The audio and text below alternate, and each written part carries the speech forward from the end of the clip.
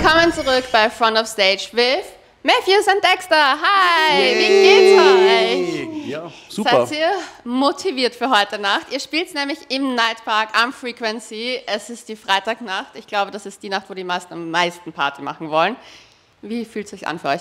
Ja, hoffentlich haben die Leute nur Kraft und Bock. Ich bin auf jeden Fall super motiviert. Bisschen müde, wenn ich ehrlich bin, aber das wird sicher gar nicht später. Andi, was sagst du?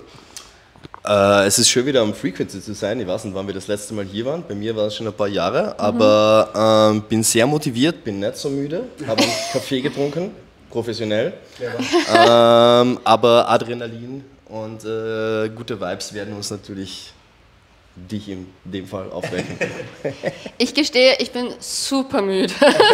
Du schaust überhaupt nicht müde aus. Das liegt am Glitzer im Gesicht. It's, it's all about Glitzer, oder? Ja. Wie schafft ihr es? Wie, wie bereitet ihr euch für einen heutigen Auftritt zum Beispiel vor? Wie kann man sich das vorstellen? Sagt okay, ich schlafe extra länger ein bisschen aus.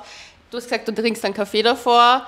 Wie, wie ist der Tag davor sozusagen, bevor einen großen Auftritt wie heute? Okay, so wie heute, ich bin den ganzen Tag in meinem Bett gelegen und habe Last of Us 2 nochmal gespielt. Sehr gut zu und, und gedacht, ah, okay, um 10 Uhr zum Frequency und, und reiß nochmal mit Martin ab. Aber davor war es eigentlich nur ganz entspannt, äh, PlayStation 5, ich und Immersion. Ja, must be nice. ähm, bei mir war es ein bisschen anders. Ich, ich habe versucht, mit dem gleichen Plan auf jeden Fall ins Bett gegangen gestern. Eher spät ins Bett, damit ich heute lang penne. War dann trotzdem um äh, 8 wieder draußen nach seniler Bettflucht und bin dann eigentlich ins Studio gefahren und habe noch was vorbereitet für heute, ein paar mhm. Tracks noch fertig gemacht, Set äh, äh, begutachtet und dann ja, Abendessen und dann sind wir hergefahren von Linz. Und jo, jetzt bin ich schon motiviert. Gibt's dann Entschuldige. Ich, würde sagen, ich bin schon gespannt, wie die neue Musik funktioniert später. Ich wollte nämlich fragen, gibt es einen Track, den du heute vielleicht das erste Mal spielst oder irgendwas ganz Neues, wo du sagst, okay, da liegt auch ein bisschen dein Herz dran, das zu schauen, wie das mhm. funktioniert heute? Ja, voll. Also ich, seit längerem arbeite ich schon am Remix äh, für Neues hier wieder und ähm, ich habe mir dann einen Track rausgesucht, der mir am Herzen liegt. Und ähm, ja, den spiele ich zum ersten Mal und bin schon ziemlich äh, aufgeregt, ob der Sound passt, ob die Leute das Original noch kennen und so. Und ja, Wann spielst du so einen Track? Also eher am Anfang, in der Mitte oder am Ende? Wo sagst Erst, du? Erster Song, direkt Echt? Intro. Wirklich? Ja. Wow, okay. E egal, Mutig, alles. Crazy. Go hard or go home. es, es ist so, voll. Wie ist es eigentlich? Du bist als bester Producer, äh, bestes Album, Manifest. Wie gehst du mit dem Druck um? Weil man natürlich, die Latte war hoch oder ist mhm. hoch. Wie fühlt es sich an für dich und wie gehst du mental damit um und was sind deine Herausforderungen? Ähm, ja, so eine Auszeichnung ist immer super und es ist halt, so ein Album dauert immer ein paar Jahre, bis man das fertig hat und wenn dann irgendwie ein paar Leute finden, dass es cool ist, freut sich natürlich voll. Ähm, aber ich lege mir da die Latte jetzt nicht hoch aufgrund des äh, Awards, der gewonnen wurde, mhm. sondern eher halt, weil ich mich jetzt selber verbessern will. Und da mhm. bin ich selbst der, mein größter Feind und der größte Kritiker. Ähm, genauso muss man aber auch sagen, dass der im Drum Bass zumindest das Medium-Album vielleicht gerade nicht mehr so das Gängige ist. Von daher ist bei mir jetzt da kein Album in, in Sichtweite, ja. weil Singles einfach ähm, viel flexibler sind. Vor allem mit dem eigenen Label kann man schneller releasen und so. Ähm, es wird sicher noch ein Album geben, aber es ist keins am Horizont, muss ich sagen. Und wann es wieder losgeht in die Schreibphase, wird sicher wieder zur Selbstgeißelung kommen. Wie ist es zu eurer Zusammenarbeit gekommen? Wie seid ihr zusammengekommen? Wie sind wir zusammengekommen? Ich will die ehrliche Geschichte hören, also, nicht die offizielle. Äh, also, also, also, wir, wir haben schon hier und da die letzten 15 Jahre mal Gigs gespielt. Mhm. Ähm, und ich bin äh, primär mit äh, Calm und Crooked unterwegs. Mhm. Und, das heißt, ich sehe dich ähm, morgen wieder? Genau. Und Martin äh, hat, hat einen Vocalist, äh, MC Maxim, also Liebe geht raus natürlich. Und mit dem wäre er halt äh, immer auf Tour, aber der hat jetzt irgendwie äh, macht selbst noch andere Musik und hat halt weniger Zeit. Und ähm, ja, wenn ich dann halt Zeit habe und er einen Gig hat, dann springe ich da ein. Also wir waren jetzt schon dreimal zusammen in Amerika und so weiter, mhm. was ziemlich crazy ist eigentlich. Ein Linzer und ein Kärntner in Amerika, Alter. Aber ja, say no more. Und, wo warst du in äh, Amerika? Äh, wo waren wir überall? Wir haben die erste Show gemeinsam in Denver gespielt, glaube ich. Und dann war, wir hätten eigentlich Silvester spielen sollen, da habe ich Covid gehabt. Ähm, was haben wir gemacht? Wir haben Denver und ähm, Minneapolis war, war so, Orlando. Orlando waren wir auch, ja. Voll. Was ja. hat euch am besten gefallen, so vom Vibe her? Uh, mir persönlich uh, Beyond Wonderland in San Bernardino, Kalifornien. Mhm. Das Sounds ganze, das ganze Festival war quasi ein Alice in Wonderland Theme. Und äh, ich glaube, die haben pro Tag 100.000 Besucher.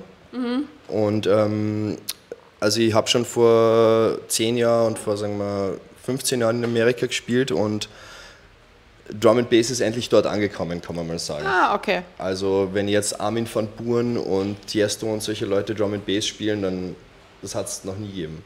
Und in Amerika ist es so, also wir kommen da hin und man fühlt sich nicht wie ein Außerirdischer, wenn Leute die anstarren und sich denken, wo ist der Dubstep-DJ? Früher war es so. Es war genau so und äh, mittlerweile ähm, ist es extrem geil und wir sind jetzt wieder in drei Wochen Tour. In drei Wochen ist Modus-Tour mit Camo Crooked Matthews und wir, ich glaube, das sind zwei Wochen und neun Shows oder so. Und ja, äh, auf das freuen wir uns natürlich auch extrem. Was nehmt ihr immer mit auf Tour? Was muss dabei sein? Die Reiseapotheke. Nach Covid ein bisschen geschädigt, dass man das immer alles mitnehmen muss? eher, eher, voll, eher, im Sinne von, ähm, die Maske ist immer dabei, muss ich auch sagen, gerade Ja. auf Langstrecke. Ähm, und halt ja, ein bisschen Melatonin, die eine oder andere Schlaftablette vielleicht und halt ja, diverse ja, Fitmacher, Vitamine und so, weil man Ja. halt eben, wie der Andi gerade gesagt hat, in, in 14 Tagen neun Shows oder acht Shows oder so runterradeln, ist halt echt äh, eine Hausnummer. Ja. Und da muss man halt schauen, dass man irgendwie fit bleibt. Und ja, ansonsten die Kopfhörer und die USB-Sticks darf man nicht ähm, Also- daheim bleiben. Bis auf die Hausapotheke, wie haltet ihr euch sonst fit, wenn ihr so wisst, dass ihr so viele Shows in so einer kurzen Zeit spielen müsst? Mm, Fit halten. Hm. Vers Mental oder körperlich?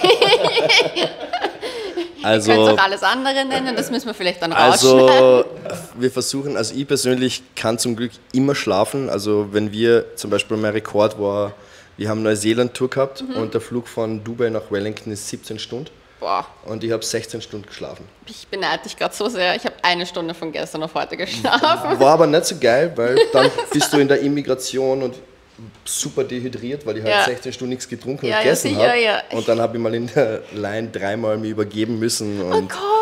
Ja, aber 16 Stunden geschlafen. Ja, das, immerhin. ist, äh, äh, das, ist, das ist meine Superpower. Also ich kann im Flugzeug einfach nicht, nicht schlafen. Ich würde gerne munter bleiben und was schauen, aber ich gehe rein, hau mir das Knackkipfel rauf, Noise Cancelling Headphones, Rain Sounds and the boy is gone. Ich gone. beneide dich gerade so sehr. Bei dir sonst so? Ja, Wie, wie ist es dein Schlafrekord? ist ein Wunderpunkt. Oh je. Na voll, also beim Schlafen nur ein bisschen schwer, gerade mit Jetlags und so und ich bin immer eher angespannt, einfach mich, mich stresst der Gedanke der langen Reise stresst mich mehr als alles andere Mhm. einfach und ähm, bin da ein bisschen ein Knecht, was das Thema angeht und äh, ja, aber ich schaue, ich schaue, dass mich unter der Woche halt fit halt, mache ein bisschen Sport und so und schaue, dass ich mich gesund ernähre. Ja. Aber motiviert ihr euch dann gegenseitig, wenn ihr mal so einen Downer habt? So, ich meine, ich denke mir dann, wenn man doch mehrere Leute sind, die zusammen unterwegs ist, kann man ja, wenn der eine mal ein Tief hat, ein bisschen aufpushen. Das ist das, was ich eigentlich gelernt habe, jetzt wo ich mit dem Andi mehr unterwegs bin und auch mit Markus und Reine, mit Kim und Crooked. Ich bin es eigentlich nur gewohnt, dass ich immer alleine äh, auf Achse bin und es ist fürchterlich zart. Genau wie du sagst, wenn es nicht gut geht, hängt man halt alleine da mit dem Traurigsein oder mit dem Stress oder wie auch immer oder mit der Flugverspätung und den Cringe und alles. Wenn man mit den Boys unterwegs ist, mit den Homies, ist es halt einfach lustig. Da, weißt du, die geht schon an, die geht schon wieder oder meistens werdet ihr aufgepäppelt, weil ich irgendwo traurig im Eck hängt. Aber ja, es ist ein rie- Riesenvorteil und du bist es ja nur so gewohnt, Andi, eigentlich, gell?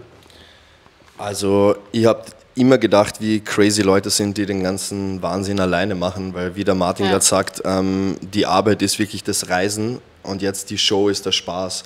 Und wenn du dann irgendwo in Rumänien, Cluj am Flughafen hängst, sechs Stunden alleine, weil der Flug verspätet ist, dann ist das halt einfach kein Spaß.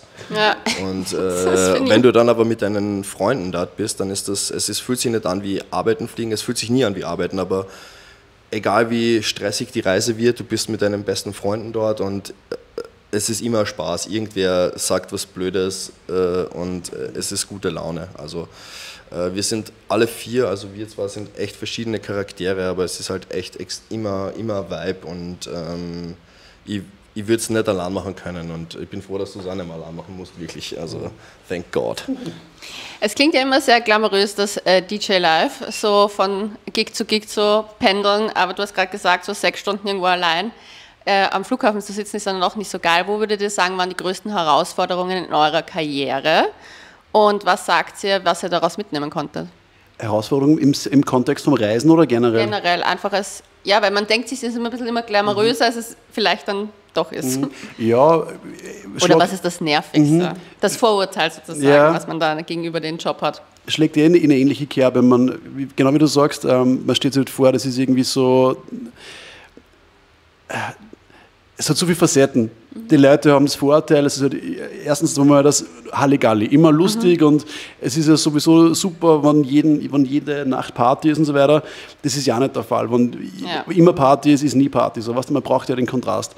Und das Zweite ist halt das, ähm, was wir vorher schon angerissen haben, das Thema mit dem Reisen, beziehungsweise es geht halt voll auf die Substanz und sehr viele DJs, auch die wir alle kennen, haben halt voll die psychischen Probleme und das ist halt einfach, auch, das kommt nicht von irgendwo, das ist das nicht schlafen, das ist der Druck äh, wegen der Performance, ähm, das Environment ist einfach voll stressig und ähm, es, es geht eigentlich sehr vielen gar nicht so gut, wie es eigentlich auf Social Media vielleicht ausschauen Ja.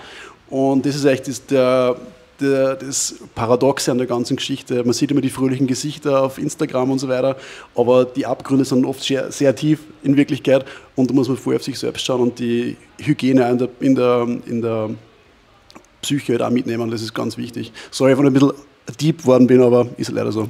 Aber das wollen wir ja. Der Podcast soll in die Tiefe gehen. Ich finde, es öffnet auch vor allem jungen Artists die Möglichkeit zu sehen, okay, es ist normal, wenn das jemand anspricht. Finde ich sehr cool, danke dir. Äh, Es ist natürlich der geilste Job, äh, die Welt zu bereisen und Musik zu machen, aber wie der Martin sagt, das ist basically ein konstanter Schlafmangel im Sommer und ähm, mit so vielen Festivals und ich habe zum Beispiel letztes Wochenende in vier Tagen drei Shows gespielt in fünf Ländern oder in vier Ländern, Entschuldige. Und das halt da geht halt auf die Substanz und also für mich persönlich die größte Herausforderung in dem ganzen Ding, ich bin einer von, glaube ich, zwei oder drei nicht englisch muttersprachigen äh, MCs. Und äh, da akzeptiert zu werden, ähm, war halt ein langer Weg und ich mache das jetzt halt auch schon seit 20 Jahren.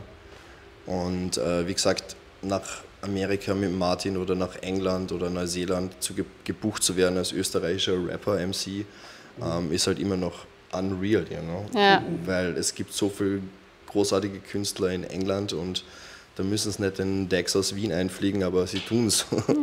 Thanks. Und äh, ist, eine, wie gesagt, das ist so, ich bin nie zufrieden mit mir selbst, ich will immer humble bleiben und ähm, besser werden. Und ja, für mich ist es halt, wie gesagt, ich compete mit dem Besten im Game jedes Wochenende und ähm, das ist so meine persönliche Herausforderung an dem Ganzen. Und was würdet ihr jungen, also jetzt aufstrebenden Künstlern mitgeben wollen, was sie vielleicht besser machen können, was ihr gelernt habt? Also einen kleinen Ratschlag. Mein Ratschlag für jeden jungen Künstler ist, hör nicht auf Trends, whatever, mach Sound, den du geil findest oder schreib Sachen, die du geil findest und wenn es gut ist, werden es andere Leute auch gut finden. Man muss nicht auf jeden Bandwagon aufsteigen. Das ist so äh, mein, mein Tipp für junge Leute. Ja, ähnlich von mir auch äh, in die Richtung gehend. Man sollte sich die Frage stellen, warum man jetzt irgendwie äh, Musik produziert oder DJ sein will. Geht es darum, weil jetzt irgendwo Fame auf der Bühne stehen will oder ja, muss? Ist, hat auch seine Daseinsberechtigung oder ist die Motivation, weil irgendwas, weil was erschaffen will, weil Musik machen will? Beides hat Daseinsberechtigung, aber man sollte sich vielleicht selbst mal reflektieren und schauen, was will ich eigentlich und dementsprechend dann halt auch die Energie rein investieren. Also ich kann nur sagen, beim Musik machen ist halt sehr viel Zeit, Investment äh, nötig, dass man halt wohin kommt, aber es ist dann voll rewarding, wenn man dann auch das dann so umsetzen kann, wie man es im Kopf hat und man darf einfach nicht aufgeben. Also Musik produzieren ist wie ein Sport, sage ich immer. Äh, keiner ist jetzt auf die Welt gekommen und hat sofort skaten können, also sehr viel äh, Wiederholungen, üben, üben, üben und dann wird man besser und dann sieht man Resultate, also einfach nicht aufgeben. Meine letzte Frage, bevor ich euch entlasse und ihr wieder dann zum Nightpark vorbereiten gehen könnt oder ein bisschen ausruhen. Ähm, und zwar, was sind eure persönlichen Ziele für 2024, 2025 und welche sind eure musikalischen? Ähm, Ziele privaten, ich werde mit meiner Freundin zusammenziehen. Und das Oh, ist vo- schön. voll ein großer Schritt für mich. Aber yeah. und ähm, von der musikalischen Seite her halt einfach weitermachen. Ich habe gerade mein Studio übersiedelt, was ein bisschen gar gegangen ist, weil ich gerade erst vor zwei Jahren in das alte Studio rein bin und da steht es vor der Herausforderung, wieder an den neuen Raum gewöhnen und so, das dauert immer ein bisschen. Aber ich freue mich schon drauf, ist immer spannend, wann quasi Privatleben und Arbeitsleben wo neu, an einem neuen Platz stattfindet. Also wird sicher spannend. Mhm. Äh, und für mich, ja, ich, ähm, einfach, ich hoffe, dass es nicht so viele Flugverspätungen gibt wie die letzten Wochen. Das ist mal. Ist das das persönliche Ziel? Das ist. Das, ja, also es war die letzten Wochen, also Sommer ist natürlich immer Madness. Ja. Ähm, und ja, wir haben echt viele Flugverspätungen gehabt in letzter Zeit. Da muss ich sagen, bei dir war es glücklich gerade, oder? Äh, persönlichen Ziele, also wir spielen jetzt irgendwann, wir spielen in New York, mhm. äh, Brownies and Lemonades unter einer Brücke, also das ist eines der größten Dinge ever. Sehr like, cool. Like Jason Status war das letzte, die dort gespielt haben. Mhm. Jetzt ist es Alice in Wonderland, Reini, Markus und Martin und ich und ja, also da zu delivern ist mal mein, mein, mein most focus gerade. Wie gesagt, wenn du mal in New York spielst, dann ist der letzte Rapper aus Österreich, der dort gespielt hat, war Falco, just saying. sehr, sehr schön gesagt. Danke euch, ich wünsche euch eine wunderbare Show ähm, und ruht euch noch gut aus. Viel Kaffee davor. Ja, Danke für die Einladung auf jeden Fall. Danke, das war Front of Stage with Refuse and Dexter. Yo, yo! Yeah, yeah, yeah.